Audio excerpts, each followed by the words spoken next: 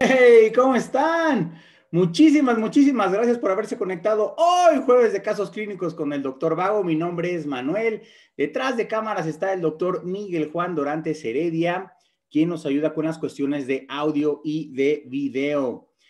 Eh, como habíamos mencionado en la convocatoria, la finalidad de esto es hacer una discusión clínica acerca de diferentes casos clínicos que probablemente vengan en el examen nacional y este, debido a la votación que se tuvo en nuestro canal de Telegram. Si no te has integrado, al final de la presentación te vamos a decir cómo. Este, hicimos una votación y la mayoría de ustedes seleccionó el tema de infectología. Así que la dinámica es muy sencilla, es la siguiente. Son tres casos clínicos que traemos, de hecho es uno seriado, un caso y los siguientes dos casos son es un caso seriado para simular un poco el examen nacional. Yo hago lectura de, la pregunta y vienen cuatro opciones. Solamente una es la verdadera o la que mejor refleja el espíritu de la pregunta. Tienen un minuto para contestar y les solicitamos el hecho de que lo hagan a través de la plataforma de Zoom para que sea la votación en vivo.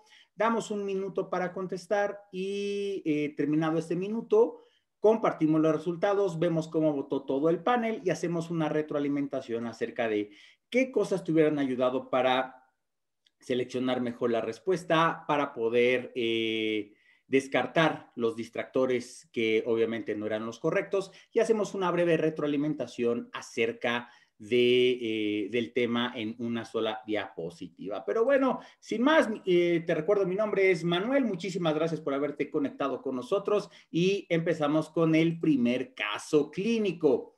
Esta es una estudiante de 22 años de edad que acude con su médico por presentar cuatro días con diplopía e inflamación dolorosa de los párpados, además de fiebre. Refiere dolor muscular significativo en cuello y músculos de la mandíbula. Este paciente hace dos semanas regresó de un viaje familiar eh, de Guerrero. Guerrero, eh, si no eres de México, es un estado que está al sureste de nuestro país. Es una zona selvática muy hermosa para visitar y una semana después de que regresó, inició con dolor abdominal, náusea, vómitos y diarrea. Estos síntomas resolvieron espontáneamente, te refiere. Personales no patológicos, eh, refiere que utilizó drogas intravenosas, pero recientemente terminó un programa de rehabilitación para esta adicción. Eh, a la exploración física está febril con 38 grados de temperatura, la frecuencia cardíaca en 92, 110 70 de presión, respiratoria de 14. Te llama la atención que tiene hemorragias en astillas subunguales, edema periorbital y además tiene quemosis. Eso te llama muchísimo la atención. Cardiopulmonar sin compromiso, abdomen blando, edema periorbitario y quemosis este, abdomen blando, no doloroso, sin visceromegalias, los laboratorios, hemoglobina, volumen corpuscular, plaquetas normales, ligera leucocitosis en 10.500, eh, neutrófilos 56% del diferencial, pero te llama la atención eosinofilia del 21%, linfos 23, la CPK está elevada en 220. La pregunta es, ¿cuál de las siguientes opciones es el diagnóstico más probable que tenga este paciente? A, que tenga ascariasis, B, que tenga dengue, C, endocarditis infecciosa o D, triquinosis. Es la pregunta número uno. Tienen un minuto para contestar y por favor, voten.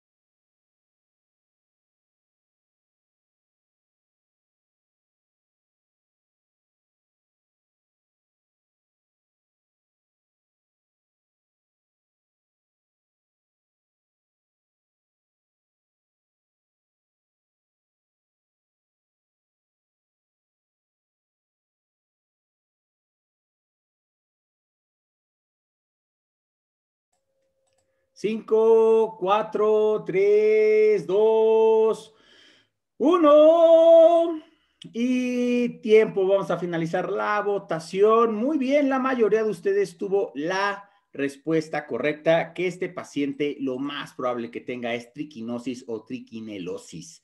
Esta es una infestación parasitaria y es común cuando se consume carne principalmente de cerdo que eh, está mal cocida. Pero bueno, eh, todos, me llama la atención que todos escogieron por lo menos algunos de los distractores. Entonces, voy a dejar de compartir los resultados y vamos a tratar de investigar de qué forma o el discernimiento, de qué forma algo nos pudo haber ayudado por el hecho de, este, de haber seleccionado la respuesta correcta. Eh, ascariasis no me parece, aunque el paciente inicialmente tuvo dolor abdominal, náusea, vómitos y diarrea, es extremadamente raro el hecho que una ascariasis te eleve CPK. Entonces, ante una miositis, que eso es lo que traduce la elevación de CPK, tendríamos que pensar en algún agente que está, eh, que está provocando esta inflamación muscular y de todas las opciones que se nos está dando, lo más probable es que sea la triquinosis o la triquinelosis. Eh, también algo que yo aprendí cuando era estudiante, de medicina, me decía mi maestro de inmunología, cuando vean eosinofilia en Estados Unidos, en Canadá, en el Reino Unido, piensen en síndromes raros de hiper síndrome de eosinofilia, sobreposición, pero generalmente en la gran Tenochtitlán, eosinofilia muchas veces quiere representar la presencia de parásitos y de parásitos sistémicos. Entonces, con esto, pues tendríamos solamente que eh, discernir entre ascariasis y entre la triquinosis, pero te mencioné principalmente el hecho de que tiene la CPK elevada. Otro dato que es extremadamente importante es que refiere dolor en cuello, músculos de la mandíbula y además recuerda que triquinosis en ocasiones provoca quemosis y edema periorbitario. Recuerda no confundirlo con el signo de Romaña, que está más asociado, más asociado con la enfermedad de Chagas, pero estos pacientes pueden tener este edema eh, periorbitario muy característico como una reacción a el parásito. El otro diferencial que es dengue, generalmente del examen nacional, cuando hablan acerca de los arbovirus, que son estos virus que son, eh, los vectores son principalmente los mosquitos, cuando hablan de dengue, eh, recuerda que en el examen nacional generalmente te van a hablar de la fiebre rompehuesos, mucho dolor retroocular, mucho dolor, eh, muchas mialgias, mucho dolor en todas las extremidades. Y en ocasiones si el evaluador te quiere ayudar, te va a decir el hecho de que tiene trombocitopenia y este paciente tiene eh, las plaquetas dentro de niveles normales. Entonces, podría ser, podría ser, pero no es lo más común. Además, la eosinofilia, la elevación de CPK y el edema periorbitario nos habla acerca que probablemente se trate de una infestación que se logró incrustar en los músculos del paciente.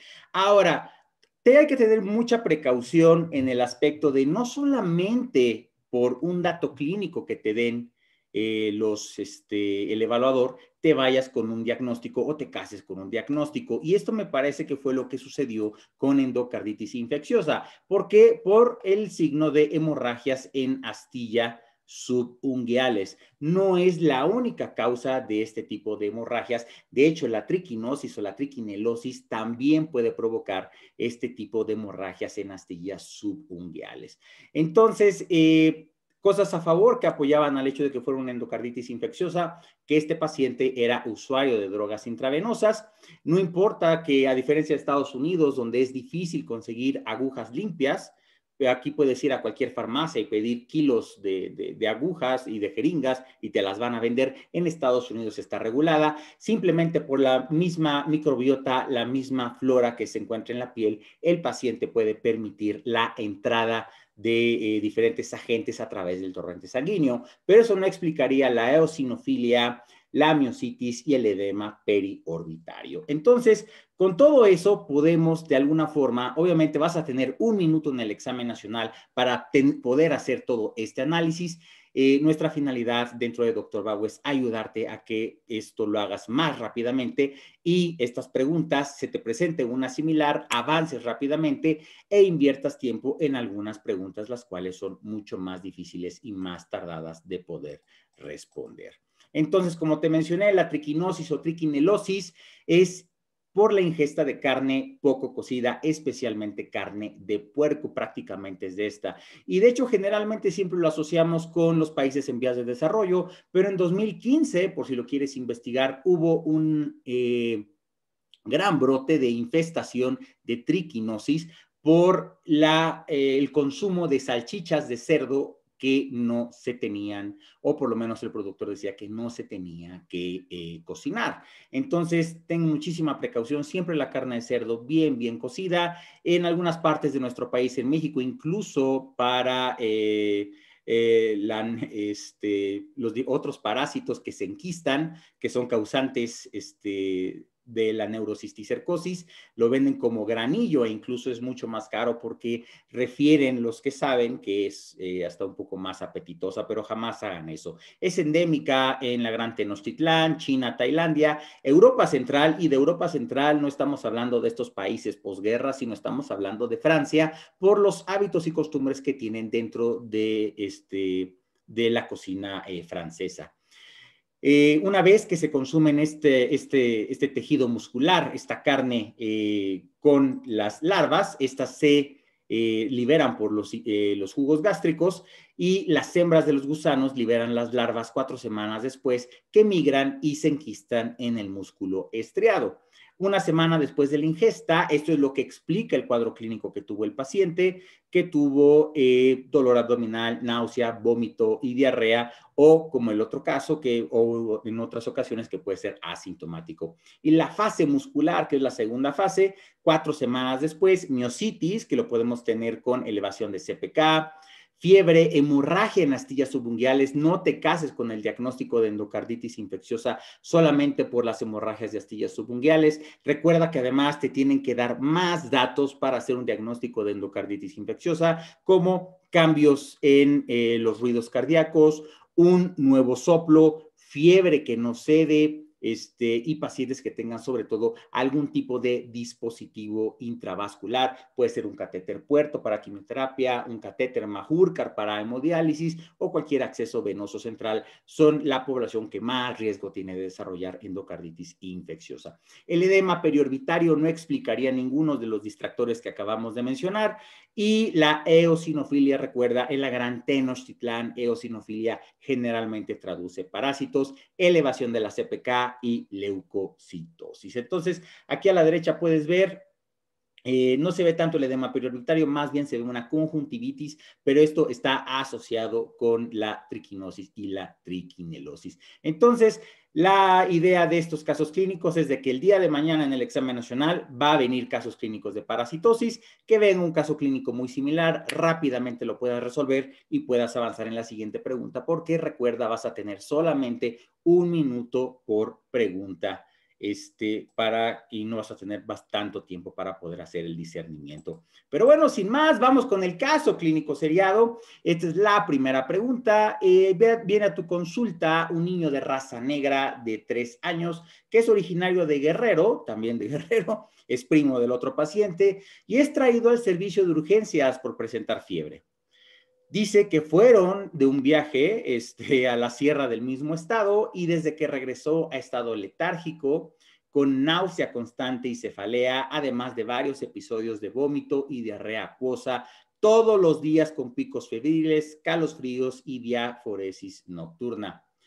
El antecedente personal que te llama la atención es que el niño tiene rasgo de células falciformes.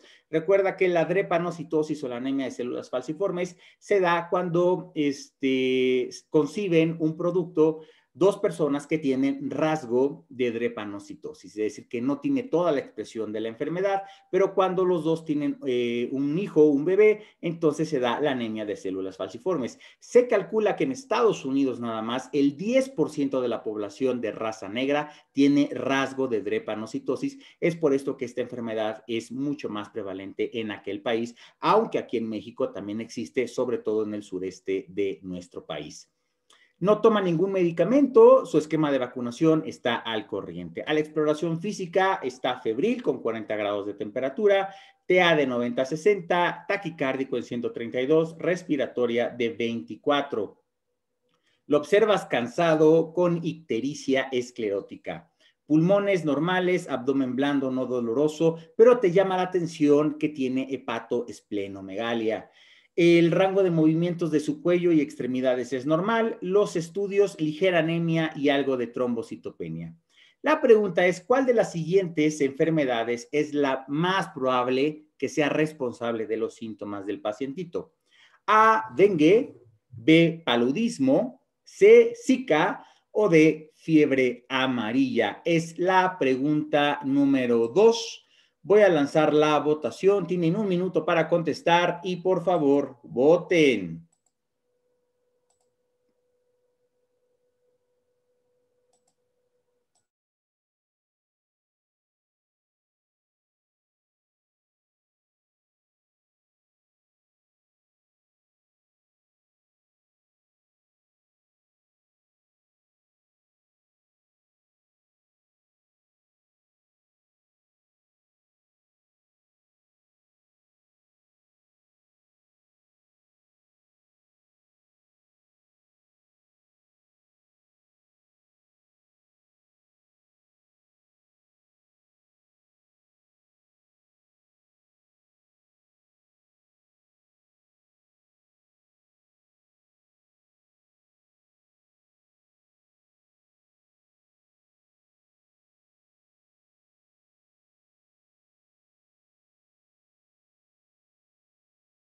Cinco, cuatro, tres, dos, uno.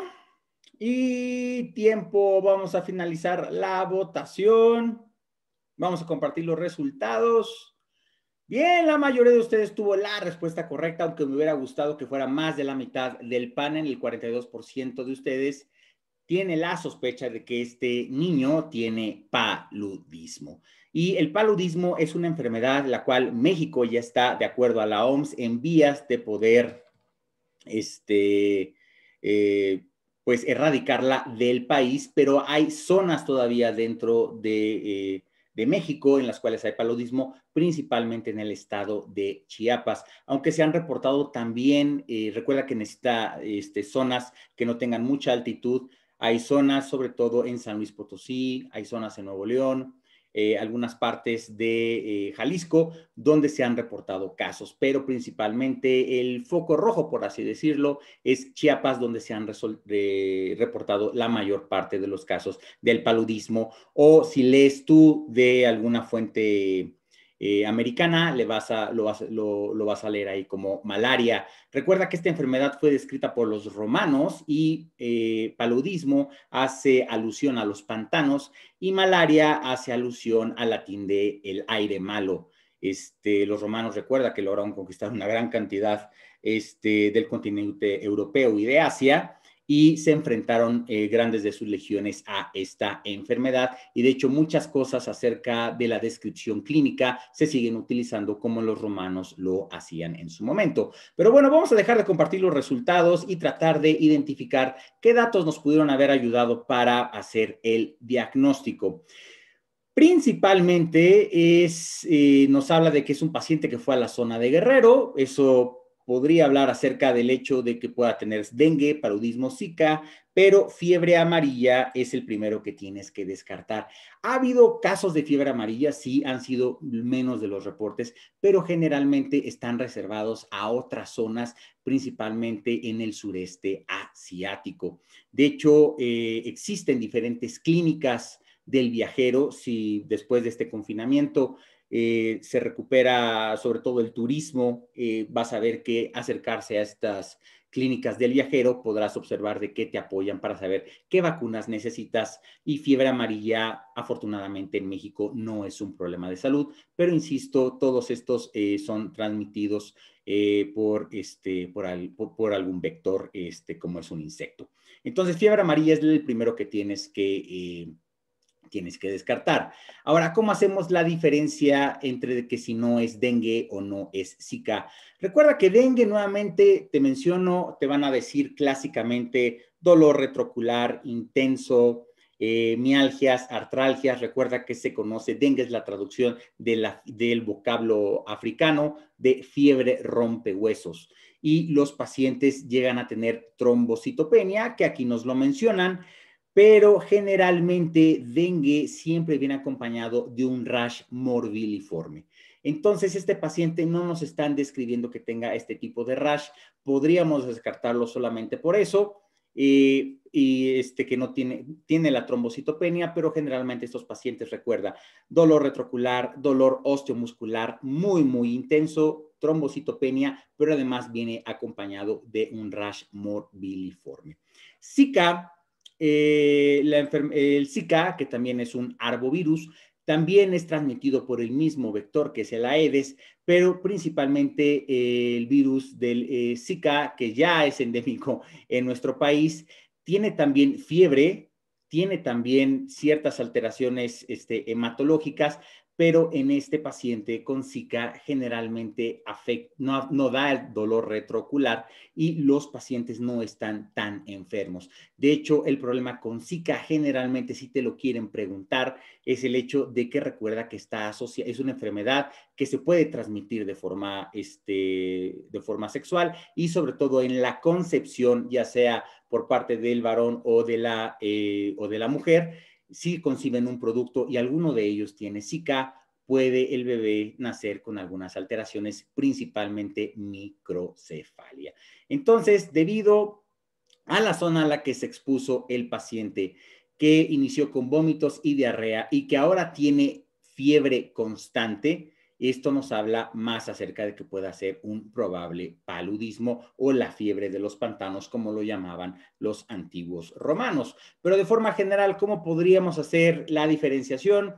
Son los mismos vectores para dengue, chikungunya y zika, Aedes, tanto a Aegypti como albopictus, la misma distribución geográfica, dan rash maculopapular, esa sería la diferencia para que no fuera, eh, para que fuera paludismo y que no fuera ni dengue ni zika, y dan mialgias y artralgias. Chikungunya, recuerda que también da poliartritis simétrica, pero a diferencia de lo que sucede con dengue, que da en articulaciones grandes, mucho dolor, generalmente es en articulaciones más pequeñas, distales, principalmente manos, carpo y tobillo.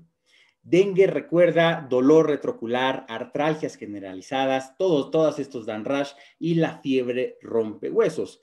Y Zika, el paciente tiene conjuntivitis, rash pruriginoso, artralgias y fiebre, aunque en ocasiones puede ser muy difícil diferenciarlas solamente mediante la clínica. Nos apoyamos de otros estudios paraclínicos para poder hacer el diagnóstico. Entonces, como el paciente no entró dentro de estas características como es el rash maculopapular y las mialgias y artralgias, pudimos haber descartado de un inicio cualquiera de estas tres enfermedades transmitidas por el mosquito Aedes. Pero vamos antes de pasar al último caso clínico, este webinar es patrocinado por el mismo doctor Vago y te quiero invitar a que conozcas nuestro curso intensivo rumbo al ENAR 2021. Vamos a iniciar en mayo y vamos a terminar en septiembre, no con una vuelta, sino con dos vueltas al temario.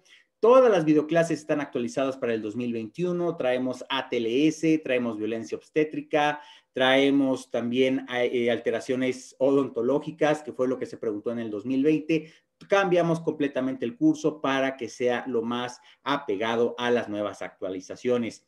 Todas las videoclases contienen un syllabus, que es el conjunto de PDF de la presentación, más de 15 sesiones como estas, simplemente que son mucho más casos clínicos y además puedes interactuar con nosotros mediante el chat, conmigo o con los profesores que estén exponiendo. Cinco simuladores tipo examen nacional con 450 preguntas. Inglés médico, te prometemos que no te vamos a poner a conjugar el verbo to be, I am, you are, he, she is, no, te vamos a enseñar cómo localizar las palabras eh, clave y detonantes. Tenemos un canal de Telegram exclusivo donde hacemos más preguntas a diario. Tenemos una app para tus dispositivos móviles y no tienes límite en cuántos dispositivos ponerlo. Puedes utilizar tu teléfono celular, tu eh, tableta, lo que tú necesites. Y además, lo que más nos caracteriza es nuestra asesoría personalizada. Es por esto que no somos de estos cursos que tienen 500 mil alumnos, solamente limitamos la participación e ingreso a 60 alumnos. Lo estamos vendiendo por etapas, ya acabó la primera etapa que fue en febrero, estamos en la segunda etapa, terminamos el próximo eh, en 31 de marzo. El curso tiene un costo de 15,500 y lo puedes diferir hasta 12 meses sin intereses con PayPal, pero si quieres en una sola exhibición, se te hace un descuento de casi el 17% con 13 mil pesos.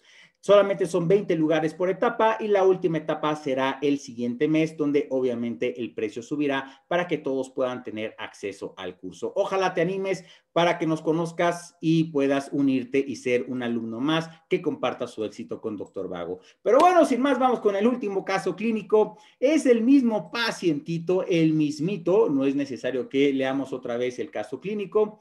La pregunta es, ¿cuál de los siguientes factores está asociado con disminución de la morbilidad de esta enfermedad, del paludismo que acabamos de mencionar? A, que el paciente tenga antecedente de vacunación con meningococo, este paciente u otro paciente. B, profilaxis con ciprofloxacino. C, rasgo de células falciformes o D, que sea de género masculino. ¿Cuál de los siguientes factores está asociado con disminución en la morbilidad de esta enfermedad? Es la pregunta número 3 del caso clínico seriado. Voy a relanzar la votación. Tienes un minuto para contestar y por favor, vota.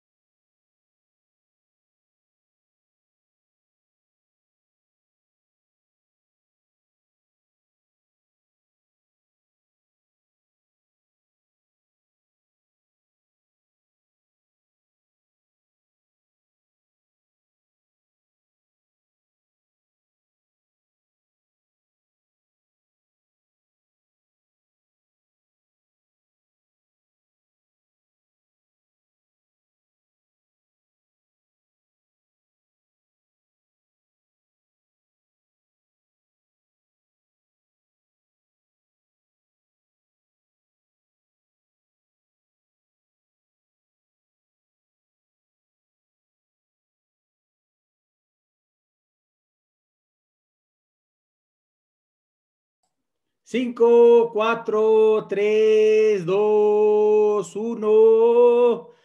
Y tiempo, vamos a finalizar la votación y compartir los resultados. Excelente, más del 50% del panel tuvo la respuesta correcta. Uno de los factores que está asociado como riesgo, disminución del riesgo de la morbilidad por el paludismo o la malaria es el rasgo de células falciformes. Y si recuerdas la fisiopatología, cuando llevaste hematología o bioquímica, la hemoglobina S, que es característica de la anemia eh, drepanocítica, es la sustitución de un aminoácido de la glutamina por una valina. Y esto fue, este cambio en la conformación fue secundario a que en África era endémica la anemia, es endémica la anemia, este, el paludismo, y por ende, de alguna forma, los eritrocitos evolucionaron para eh, conferir cierta resistencia generalmente a todos los tipos de parásitos del plasmodium, generalmente para todos, especialmente para el vivax.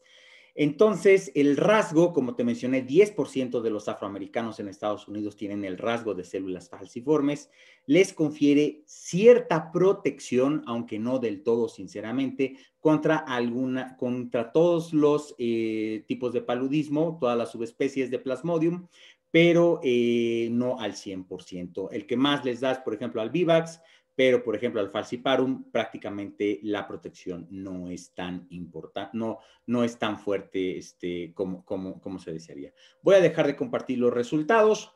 El antecedente con vacunación contra meningococo, nada que ver. Profilaxis con ciprofloxacino. Recuerda que la profilaxis eh, va a determinar a la zona a la que vayas a viajar contra el paludismo y el hecho de que sea varón no este, aumenta la morbilidad. De hecho, hay algunos estudios que mencionan que incluso la morbilidad podría empeorar en el género masculino. Entonces, lo único que protege a este pequeñín aunque pudieran ponerte cualquier cosa aquí, el evaluador aquí solamente te está preguntando, ¿sabes cuáles son algún factor de protector contra la morbilidad del paludismo? pudo haberte puesto cualquier cosa. Este es algún tipo de pregunta, preguntas que te enseñamos a contestar en Doctor Vago. Aquí la respuesta, no, es decir, no hubiera sido necesario leer todo el caso clínico, simplemente contestar rasgo de células falciformes.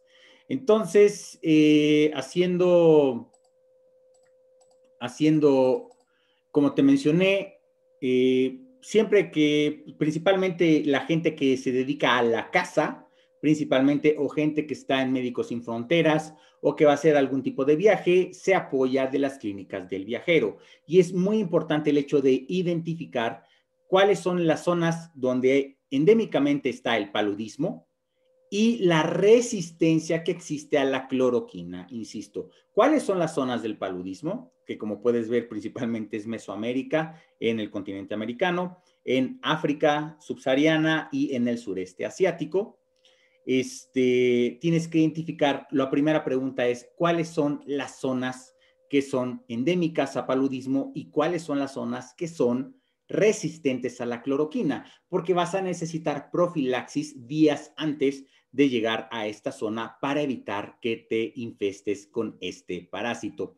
Como puedes observar, de acuerdo con los reportes de la OMS, México es un país que, uno, se está acercando a la erradicación de la enfermedad y dos, no existe para fines prácticos del examen nacional, resistencia a la cloroquina. Eso es extremadamente importante. ¿Por qué? Porque la que la cloroquina es un medicamento que es extremadamente barato y es el que con más experiencia se tiene. Pero si quieres eh, jugar eh, la vida en modo difícil, en modo hard, puedes venir a esta zona de Vietnam, del sureste asiático, donde existe resistencia a tres o más antipalúdicos. Así que muchísima precaución cuando vayas a hacer viajes a este tipo de lugar, sobre todo en las zonas que se conocen en esos lugares, donde es hay muchísimo paludismo y que se sabe que hay resistencia a los diferentes antipalúdicos. México, para fines prácticos del examen nacional, 100% de los reportes de paludismo es de eh, Plasmodium vivax, el 100% de acuerdo con la CDC. Aquí te pongo la bibliografía y es una zona que es sensible a cloroquina, no existe resistencia. Entonces, si quieres viajar a Chiapas y quieres hacer algo de eh, exploración en la selva chiapaneca, que es preciosa, puedes tomar profilaxis con cloroquina y no te va a dar paludismo. Esto es extremadamente importante y como sabes, los países nórdicos, eh, debido al frío y a la altura que tienen, prácticamente no tienen problemas de paludismo, solamente esto sucede de Tenochtitlán hacia abajo. Esto y Paludismo, ya lo sabes, es por un parásito, el Plasmodium falciparum. En México, recuerda, 100% de los reportes a la CDC son por Plasmodium vivax, pero puede haber el ovale o el malaria, y esto es por la picadura del mosquito anófeles. Recuerda que los romanos, cuando conquistaron gran parte de Europa y de Asia, se enfrentaron a eh, que sus legiones se enfermaban por paludismo. Entonces los médicos romanos ya habían eh, identificado las fiebres tercianas y cuartanas. Este concepto les cuesta mucho a los americanos eh, entenderlo, pero la fiebre terciana es de que la fiebre aparece el lunes, de ferveces en martes y el miércoles nuevamente tienes fiebre. Eso es bastante sencillo para los hispanoparlantes, pero a los angloparlantes no se les hace tan fácil. Y ya sabían los médicos que si tenías fiebre cada tres días, aunque pareciera que no, que nada más es un día que tienes fiebre, un día de descanso y nuevamente tienes fiebre, pero se llaman fiebres tercianas, no quiere decir que duren tres días, sino que es un periodo de tres días. Los médicos romanos ya sabían que a esos pacientes les iba a ir mejor que aquellos pacientes que tenían las fiebres cuartanas es decir, que iniciaba fiebre el lunes, de efervescencia martes, miércoles y el jueves nuevamente tenían fiebre. Estos son los pacientes que tienen o Plasmodium malariae o Plasmodium falciparum, aunque Plasmodium falciparum de hecho es de los más agresivos y puede mantener fiebre constante. Malestar general, cefalea, náusea, hepatoesplenomegalia. En los niños puede complicarse con convulsiones, coma, hipoglucemia y en los adultos ictericia, falla renal o incluso edema agudo pulmonar. El diagnóstico, recuerda, es con gota gruesa inicialmente Protección, las hemoglobinopatías, todo el cambio conformacional de la hemoglobina A del adulto, todas las hemoglobinas S, la hemoglobina C, que es como una drepanocitosis más atenuada, eh, confiere cierta resistencia al paludismo.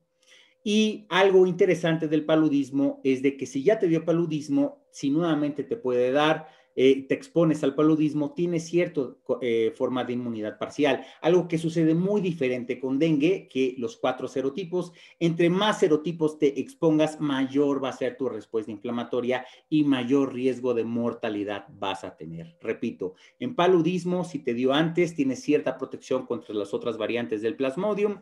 En dengue, si te expones a diferentes serotipos, mayor riesgo de mortalidad porque tu respuesta inflamatoria va a ser mucho más fuerte.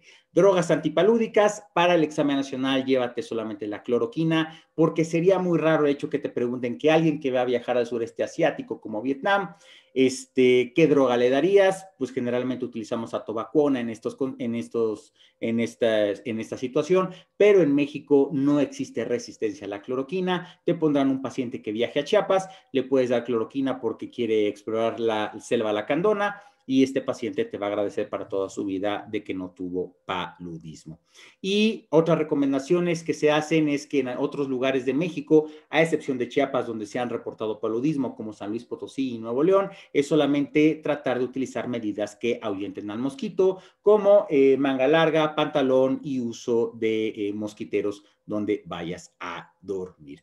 Pues muchísimas gracias por haberse conectado hoy, jueves de casos clínicos con el doctor Vago. Agradecemos mucho tu asistencia y el hecho que hayas invertido tiempo en tu educación. Por favor, visita nuestras redes sociales, nuestra página. Tenemos un canal de Telegram donde ponemos preguntas diarias. En Facebook subimos videos y en YouTube también. En Amazon tenemos un libro acerca de cómo aprobar tu ENARM. En Instagram subimos memes que consideramos chistosos y en Twitter subimos alguna rápida y concisa para tu examen nacional.